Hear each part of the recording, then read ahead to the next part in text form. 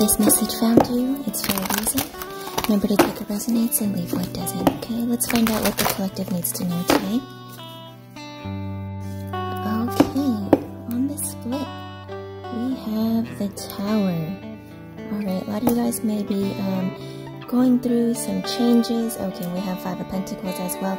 So, things may not have been the easiest at the moment. A lot of changes, a lot of unexpected uh, unexpected changes, but it's nothing you cannot overcome. Okay, Five Pentacles is some minor health or financial issues or feeling left out in the cold. Tower moment is some unexpected sudden change. But remember, everything happens for a reason and is happening for you and not to you. Let's do a six card spread here. We have the Queen of Cups. Remember to um, stay in touch with your emotions. You're probably an empath, empathetic to others, and emotionally mature.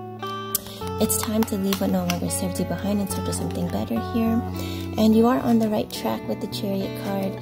You guys are moving in the right direction, so keep on going here.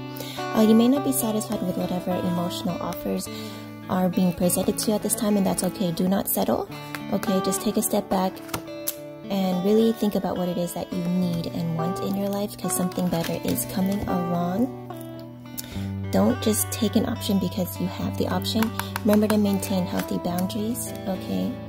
And you have a new beginning here. Oh, verification from Dragon. New beginning here with clarity.